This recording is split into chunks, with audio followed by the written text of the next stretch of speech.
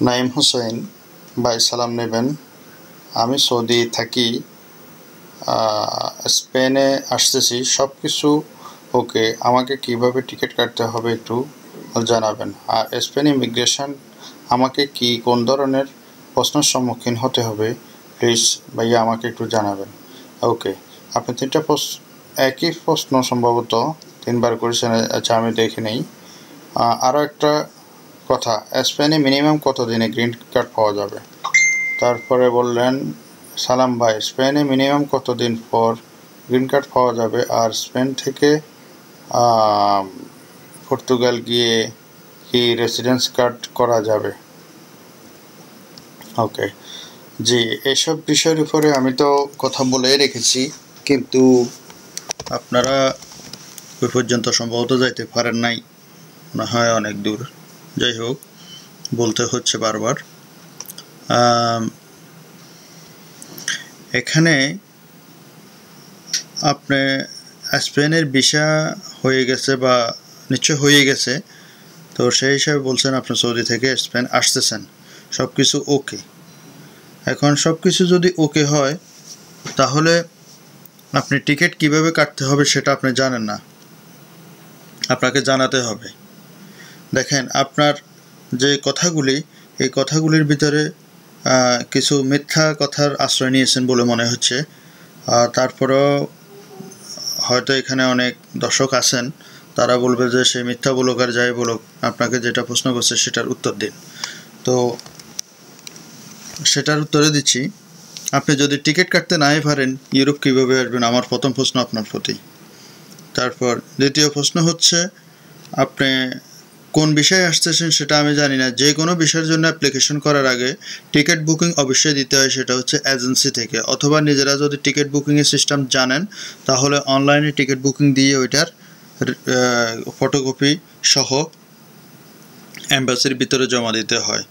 তো আপনি এই জন্যই আমি শুরুতে বলছিলাম যে আপনি একটু মিথ্যার আশ্রয় নিয়েছেন। কারণ হচ্ছে যে আপনি যদি টিকিট বুকিং নাই দেন, বিমানের টিকিট যদি নাই দেন বুকিং না না দেন, তাহলে আপনার বিষয় কী করে উঠতেছে সেটা আমার জানা নেই। আর যেহেতু আপনি প্রশ্ন করছেন, সেটাই বলেই আপনার এজেন্সিতে যাবেন এজেন্সিতে গেলে ওরা কেটে দেবে আপনি কোন দেশের ভিসা সেই দেশের বিমানের টিকিট কাটবেন। এই, আর ইমিগ্রেশন আপনাকে কি জিজ্ঞেস করবে? সেটা আপনার ভিসার উপরে নির্ভর করবে, আপনার স্ট্যাটাসের উপরে নির্ভর করবে। স্ট্যাটাসটা কি? সেটা হচ্ছে আপনি ভিজিট সেন্ডিং ভিসা দিয়ে যাচ্ছেন, অথবা ওয়ার্ক পারমিট ভিসা দিয়ে যাচ্ছেন। আপনার জামা কাপড় তারপরে আপনাকে যদি আপনার জামা কাপড় দেখে, আপনার লাগেজের ধরন দেখে যদি আপনাকে সন্দেহ করা হয়, যেমন এটা হয়তো একটু ভেঙে বলতে হচ্ছে, সেটা হচ্ছে যারা ওয়ার্ক পারমিটে যায়, তাদের লাগেজটা বড় হলেও সমস্যা নেই, কারণ তাদের দরকারি জিনিসপত্র থাকতেই পারে বা আরও অনেক কিছু থাকতে পারে হেটার ভিতরে। ওটা দিয়ে কোনো প্রকার সন্দেহ করবে না। আর যদি ভিজিট চেঞ্জিং ভিসা হয়, সেক্ষেত্রে একজন ভিজিটারের লাগেজ কত বড় হতে পারে সেটা আপনিও জানেন। দুইটা শার্ট দুইটা প্যান্ট অথবা দুইটা গেঞ্জি আপনার লুঙ্গি আর ঘামছা থাকতে পারে। অথবা আপনার একটা ল্যাপটপ থাকতে পারে। তো এটার জন্য অনেক বড় ব্যাগের প্রয়োজন হয় না, অনেক বড় লাগেজের প্রয়োজন হয় না। এটা হচ্ছে কি ইমিগ্রেশন সেন্টারের পুলিশ অথবা সিকিউরিটি আপনাকে সন্দেহ করতে পারে। আপনি তিন চারটা লাগেজ আপনার ফ্যামিলি নেয়, বাচ্চা নেয়, আপনি সিঙ্গেল মানুষের তিন চারটা লাগেজ নিয়ে ঢুকতেছেন। তাহলে আপনার লাগেজ দেখে ওরা তো সন্দেহ করে নিতে পারে যে আপনি স্থায়ীভাবে ঢুকার জন্য এতগুলো লাগেজ টাগেজ নিয়ে আসছেন। অথবা এইসব লাগেজের ভিতরে কী আছে আপনার এগুলা ওরা পর্যবেক্ষণ করে দেখতে হবে। এবং তখন আপনাকে অনেকগুলো প্রশ্ন করা হবে। ঠিক আছে? তো ইমিগ্রেশন সেন্টার প্রশ্ন করার জন্য আপনাদের আপনারাই দেয়। ওরা দেয় না। তারপর আবার হয়তো দেখা যাবে আপনি ভিজিট সেন্সিং বিষয় দিয়ে আসছেন। আপনাকে ট্যুরিস্টের মতো লাগতেছে না। আপনি জামা কাপড় গায়ে দিয়েছেন ওগুলা দেখে ওরা বুঝতে পারছে যে আপনি আসলে ট্যুরিস্ট না। তো সেক্ষেত্রেও কিন্তু আপনাকে, ওদের সন্দেহ লাগলে আপনাকে প্রশ্ন করতে পারে। ট্যুরিস্ট ট্যুরিস্টের মতো আসবেন। এইগুলো হচ্ছে স্ট্যাটাস তো আপনার স্ট্যাটাস ওগুলো যদি বাংলাদেশের গ্রামে, গঞ্জের মতো হয়, তাহলে আপনাকে অবশ্যই ওরা চার্জ করবে এবং অবশ্যই আপনাকে জিজ্ঞেস করবে। তো যেটা জিজ্ঞেস করবে, সেটাতে আপনি যদি থতমতো খেয়ে উত্তর দেন, তো আরও সমস্যা বেশি। তো আপনাকে যদি জিজ্ঞেস করে, তুমি কোথায় যাচ্ছ? তখন আপনি যদি স্পেনের বিষয়ে আপনি স্পেনে টিকিট কাটবেন, ওখানে নামবেন। যদি পর্তুগালের বিষয়ে, আপনি আর টোটাল যে দেশের বিষয়ে, আপনি ওই দেশের টিকিট কাটবেন। তো ওই দেশে ইমিগ্রেশন সেন্টার যদি আপনাকে জিজ্ঞেস করে যে, কোথায় যাচ্ছ? তুমি বলব যে আমি দেশে আসছি, তোদের দেশে আসছি। তারপর কিসের জন্য? আমি আপনার বিশার মেয়াদ কতদিন আপনি অবশ্যই দেখবেন আগে। এরপরে আপনি বলবেন যে, আমি এক সপ্তাহ দশ দিন এখানে থাকব, তাকে তোদের দেশটা দেখে আমি চলে যাব। এভাবে করে বলতে হবে। আপনার আপনাকে ওরা জিজ্ঞেস করবে সব নেগেটিভ প্রশ্ন। আপনি উত্তর দিতে হবে সব পজিটিভ আর ওরা যখন আপনাকে পজিটিভ প্রশ্ন করবে, আপনি উত্তর দিতে হবে নেগেটিভ ওরা বলবে যে, তুমি এখানে আসছো, থাকবে কীভাবে, খাবে কীভাবে, কাজকর্ম তো তোমাকে করতে হবে, কেমনে চলবা, কেমনে কি? তখন আপনি বলবেন যে, আমি কাজকর্ম করতে আসি না আমি দেশটা দেখতে আসছি। আমার দেশটা দেখার শেষ হলে আমি চলে যাব। আমার এখানে থাকার কোনো প্রশ্নই ওঠে না। আপনার যদি বলেন যে হ্যাঁ আমি কাজ করব, আমি এই করব, আমি সেই করব, আমি কেস করব, তারপরে যে আমি সংসার চালাবো, ওইখান থেকে আপনাকে ব্যাক করিয়ে দেবে। এই কথাগুলো শুনলে। কারণ কোনো ট্যুরিস্ট কোনো দেশে যায় কাজের কথা বলবে না। সে কাজের জন্য যাচ্ছে। ট্যুরিস্ট যাওয়ার অর্থ কি সেটা আপনাকে বুঝতে হবে, আপনারা বুঝে নেবেন। তো আবার এইসব প্রশ্নগুলো আপনাদের, আপনাদেরকে ইমিগ্রেশন সেন্টার করবে, আপনাদের পরিবেশ পরিস্থিতি দেখে। তো আপনারা যারা ভিজিট চেঞ্জিং ভিসা দিয়ে যাবেন অথবা ওয়ার্ক পারমিট নিয়ে যাবেন, যেটা দিয়ে যান, আপনারা সুন্দরভাবে যাবেন, যাতে করে জামা কাপড় দেখে অথবা আপনার পায়ের দিকে তাকিয়ে অথবা মুখের দিকে তাকিয়ে যাতে করে বলতে না পারে যে আপনি ট্যুরিস্ট না অথবা আপনি এদেশে লং টাইম স্টে করার জন্য যাচ্ছেন অথবা অন্য অন্য যেটাই হোক। সো আপনারা ওইভাবে আপনাদের নিজেদের স্ট্যাটাস চেঞ্জ করবেন সব কিছু পরিবর্তন করবেন, করে সুন্দরভাবে সেজে গুজে যাবেন। আর বলছেন, স্পেনে মিনিমাম কতদিন, কতদিনে গ্রিন কার্ড পাওয়া যাবে? আবার এখানে এসেছেন পর্তুগালে গিয়ে রেসিডেন্স কার্ড পাবো কিনা। আপনি কি আসলে সঠিকভাবে জানেন কোনটা গ্রিন কার্ড, কোনটা রেসিডেন্স কার্ড আমার তো মনে হয় জানেন না। কারণ ফার্স্ট টাইমে কেউ কখনো গ্রিন কার্ড পায় না। আমাদের বাংলাদেশে মানুষে রেসিডেন্স কার্ডকেও গ্রিন কার্ড বলে, আবার সৌদি আরবের আকামাকেও মাঝে মধ্যে গ্রিন কার্ড বলে। ঠিক আছে?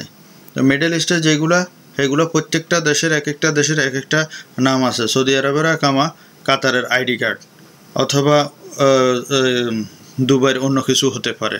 ওমানের আরেকটা কিছু হতে পারে। কিন্তু আমাদের বাংলাদেশের মানুষে মনে করে যে সব দেশে সবগুলাই আকামা। ঠিক আছে? তো আসলে ওটা অ্যাকচুয়ালি আকামাই। সবগুলো আইডি কার্ড হোক, যেটাই হোক, আকামার মতো আর সবগুলো আইডি কার্ড হলেও তাদের সমস্যা নেই। ঠিক আছে? তো এখানে সমস্যা হচ্ছে কোনটা রেসিডেন্স কার্ড কোনটা গ্রিন কার্ড আগে আপনাকে সেটা বুঝতে হবে। না বুঝে তো হুশ করে কমেন্ট করাটা যুক্তিযোগ্য না। আমার এখানে ভিডিওগুলো আপনারা দেখেন না। আমি এই জন্য ভিডিও করা বন্ধ করে দিয়েছি। কারণ আপনারা যে প্রশ্নগুলো করেন, ওই প্রশ্নগুলোর ভিডিওগুলো এখানে আসে কিন্তু দেখেন না। না দেখে আপনারা একটা ভিডিও দেখবেন, তার নিচে দিয়ে প্রশ্ন করে বসে থাকবেন। তো আপনি গ্রিন কার্ড যেটা বলছেন গ্রিন কার্ড পাইতে আপনাকে মিনিমাম স্পেনে যদি হয়, দশ থেকে পনেরো বছর অপেক্ষা করতে হবে। ঠিক আছে? আর রেসিডেন্স কার্ড যেটা, প্রাথমিক যে কার্ডটা গ্রিন কার্ড যেটা, সেটা সম্বন্ধে আমার ভিডিও আছে, দয়া করে দেখে নেবেন। এরপরে আমি বলে দিচ্ছি। গ্রিন কার্ড যেটা, সেটা হচ্ছে দশ থেকে পনেরো বছর পরে পাবেন। গ্রিন কার্ড মানে হচ্ছে ন্যাশনালিটি চেঞ্জ করা। অর্থাৎ আপনার বাংলাদেশি ন্যাশনালিটি থেকে আপনি ইউরোপিয়ান ন্যাশনালিটিতে ইয়ে হবেন। ঠিক আছে? ন্যাশনালিটি পাওয়া মানে হচ্ছে গ্রিন কার্ড পাওয়া আর রেসিডেন্স হচ্ছে যেটা প্রাথমিক পর্যায়ে পায়, যেটা দিয়ে বাংলাদেশে আসা যাওয়া করা যাবে বা যেটা দিয়ে লিগেল ওয়েতে আপনি কাজ কাম করতে পারবেন, সেটাকে রেসিডেন্স কার্ড বলে। ঠিক আছে? তো আপনার স্পেনের, যেহেতু আপনি প্রশ্ন করছেন গ্রিন কার্ড স্পেনের গ্রিন কার্ড পাইতে আপনার মিনিমাম দশ থেকে পনেরো বছর লাগবে। যদি রেসিডেন্স কার্ডের কথা বলেন স্পেনে তাহলে ওটা তিন বছর পরে আপনি ওখানে অ্যাপ্লিকেশন করতে পারবেন। তিন বছর পর্যন্ত আপনি যে ওইখানে ছিলেন স্পেনে ছিলেন, ওইটার লিগেল প্রমাণপত্র দেখাতে হবে। আপনি যে তিন বছর ওখানে ছিলেন। অনেকেই আছে স্পেনে নামছে স্পেনের বিষে দিয়ে, এরপরে পর্তুগাল চলে গেছে, অন্যান্য দেশে চলে গেছে, তিন বছর পূর্ণ হওয়ার পরে যায় ওখানে সিরিয়ালে দাঁড়িয়েছে, কিন্তু তার কাছে কোনো প্রমাণপত্র নেই। সুতরাং ওটা রিজেক্ট হয়ে যাবে।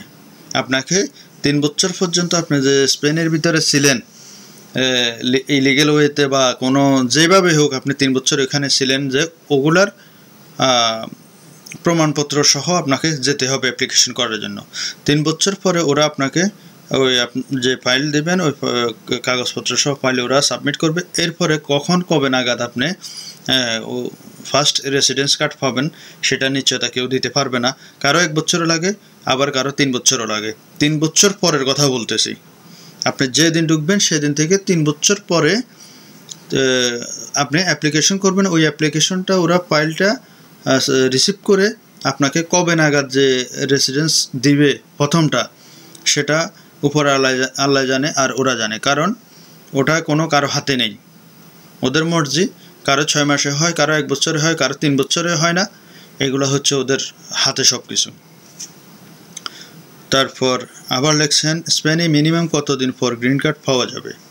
আর স্পেন থেকে পর্তুগাল গিয়ে কি রেসিডেন্স কার্ড করা যাবে? আপনি মানুষ একজন, কয় দেশের আপনার কার্ড লাগবে?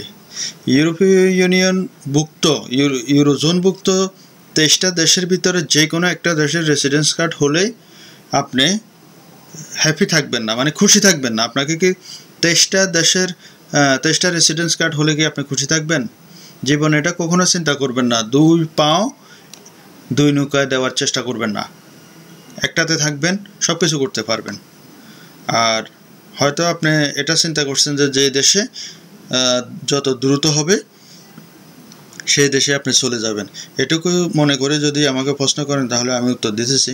সেটা হচ্ছে স্পেনেরটা একটু আগে বলেছি, যেটা রেসিডেন্স কার্ড গ্রিন কার্ড না। গ্রিন কার্ড তো আরও পনেরো, দশ পনেরো বছর পরে। স্পেন থেকে আপনি পর্তুগাল গিয়ে রেসিডেন্স কার্ড পাবেন কি না স্পেন থেকে পর্তুগাল গেলে আপনাকে রেসিডেন্স কার্ড কেউ দিবে না। কারণ রেসিডেন্স কার্ড নিয়ে কেউ বাজার টিকিটের মতো নিয়ে বসে রাখে না। যে কাউন্টারের ভিতরে গেলে আপনাকে রেসিডেন্স কার্ডটা দিয়ে দিতে হবে। এটার সম্বন্ধে আপনাকে ভালো করে জানতে হবে।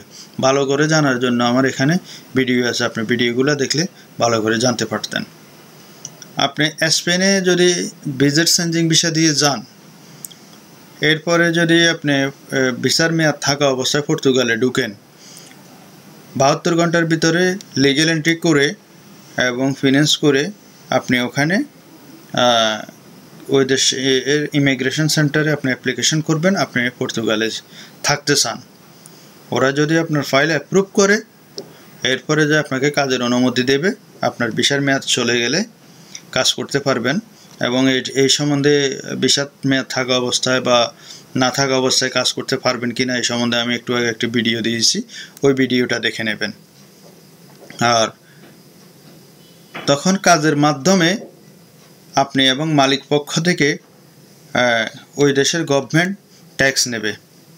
আপনার থেকে নেবে এগারো পার্সেন্ট মালিক থেকে নেবে তেইশ বা চব্বিশ পার্সেন্ট টোটাল এই পঁয়ত্রিশ পার্সেন্ট ট্যাক্স নিয়ে প্রতি মাসে এরপরে যায় ছয় মাস পর হয়তো বা এক বছর পর আপনাকে একটা অ্যাপয়েন্টমেন্ট দিবে। ওই অ্যাপয়েন্টমেন্ট মোতাবেক আপনি যে ওখানে ইমিগ্র্যান্ট ফিঙ্গার দেবেন। ইমিগ্র্যান্ট ফিঙ্গার দেওয়ার এক থেকে নব্বই দিনের ভিতরে আপনার অ্যাড্রেস যে অ্যাড্রেস দেবেন, ওই অ্যাড্রেসে রেসিডেন্স কার্ড চলে যাবে। এটাই হচ্ছে ওই দেশের সিস্টেম আর এসব সিস্টেমগুলো আমি এখানে খুব আপনাকে সংক্ষিপ্ত করে বলেছি।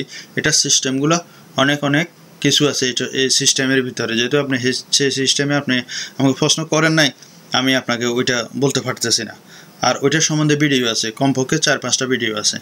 ওগুলা দেখে নেবেন। কীভাবে আপনি পর্তুগাল স্টে হবেন কীভাবে কাজকর্ম করতে পারবেন, কীভাবে কি করতে হবে, সবগুলো ওখানে বলা আছে। ঠিক আছে? তো স্পেনের ভিসা দিয়ে আপনি যদি পর্তুগাল যান রেসিডেন্স কার্ড পাবেন, সেটা হচ্ছে কাজের মাধ্যমে আর এমনি এমনি না, যেটা আপনি যেভাবে এখানে বলছেন, এইভাবে এত এত সংক্ষেপে না। একটু ঝাল আছে, যে কোনো কিছু খেতে হলে একটু ঝাল আছে। তো আপনার আশা করি তিনটা বিষয়ে জানতে চেয়েছেন, তিনটা বিষয় আপনি পেয়েছেন। ধন্যবাদ আপনাদের সকলকে। আর একটি কথা আমি বলব, সেটা হচ্ছে, আমার ভিডিওগুলোর নিচে কোনো এক ভদ্র মানুষ